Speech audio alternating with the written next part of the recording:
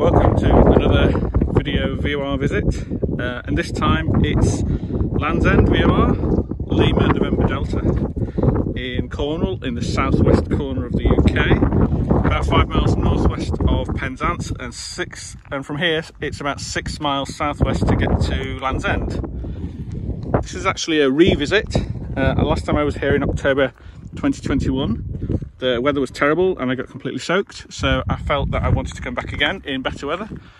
And despite the fact that we're in the middle of summer and had several heat waves and droughts in the UK again it's raining today.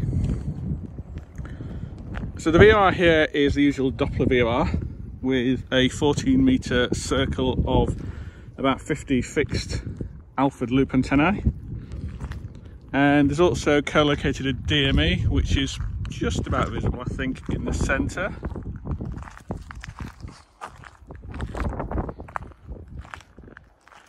And actually, the other side of the track here, just past those stones, it looks like the base of a uh, previous older VOR that was here before it was replaced by this one.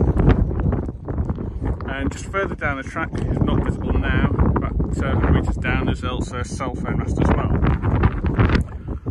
So one unusual thing, around the circumference here, you can just see uh, these vertical antenna with a uh, kind of perpendicular uh, cross uh, structure on the top. And I've learned this week that these are communications antenna and there's a couple of them scattered around the edge of the stru structure here. And there's only a few VORs in the UK that have these as well. So this one, uh, Midhurst and St Abbs, or, or Stabs sometimes called.